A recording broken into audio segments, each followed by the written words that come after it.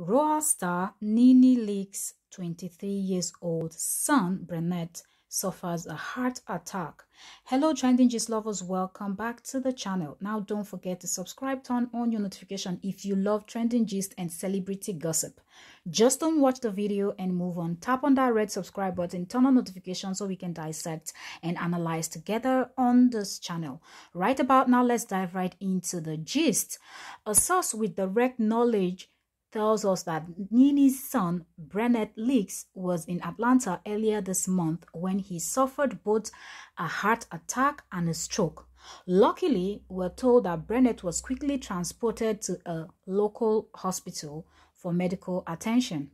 Our source says while Brenett was hospitalized for several days, he is now out of he's now out and rehabbing and everyone is hopeful he will make a full recovery. So that's the news in town.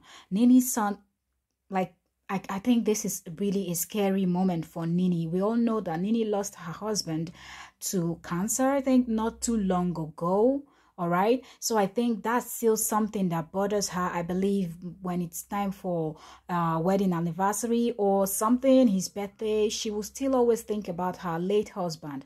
So to even think that her young son would suffer a stroke and a heart attack that must be so scary for any mom any mom. If you have a child then you know how much you care and cherish your children. You don't even want a mosquito or a fly to even perch on their skin let alone suffering a heart attack and a stroke.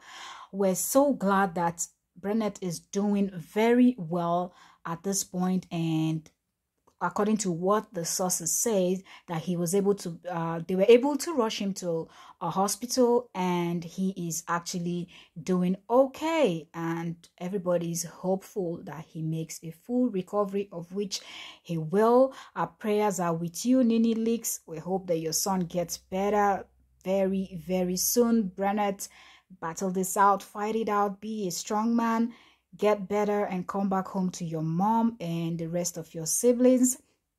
Let me know in the comment section what do you think Nene's reaction will be when she heard this or if this actually happened when she was at home and if she witnessed it. What do you think her reaction will be?